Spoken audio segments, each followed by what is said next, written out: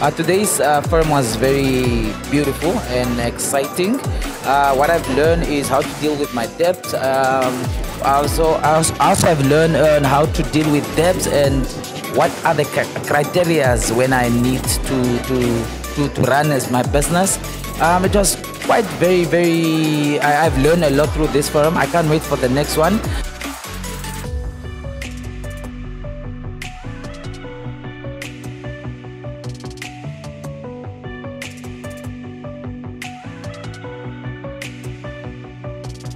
Forum was uh, was really good because we came together to have conversations that we don't normally have because there is always something happening within the ecosystem or the startup ecosystem but these are the old boring conversations that we have. But today I really enjoyed because we got a chance to go into things that we don't normally look at and that was things like mental health. We don't really look at the mental health issues and whatnot. And as entrepreneurs, that's actually one of our challenges. You are going through this whole thing all by yourself.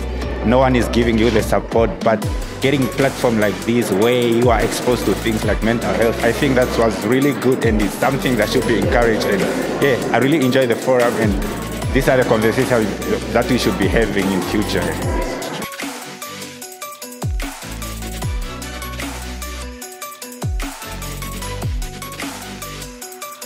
It is really a good opportunity for so many young people in Namibia and also just helping us, you know, having a, a background of the youth in our country and just being open-minded to different opportunities, especially if you plan on starting up an, a company.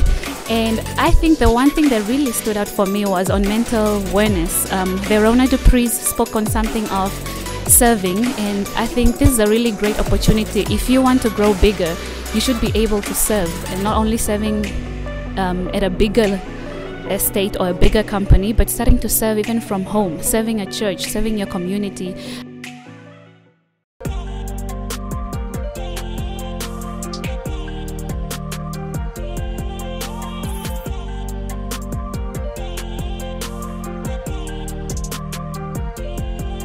So, my favorite part of the forum in general was the interactive tech initiative.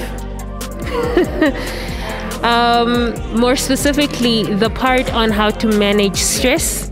Um, this guy, he had he he, he posted like um, little pictures of different apps that we can use to help manage some of the stress. One of the apps in particular was an app called Calm, which is something that I also personally use. I love the app. It's a way to help deal with the stress. Entrepreneurship is incredibly overwhelming and there's so many things that you have to do there's so many things you have to focus on so you can become easily overwhelmed and you lose sight of what your initial concept behind your business is. So it's nice to see that it's not always about making profits and looking for capital but like how do you actually function as an entrepreneur during these very stressful times? So yes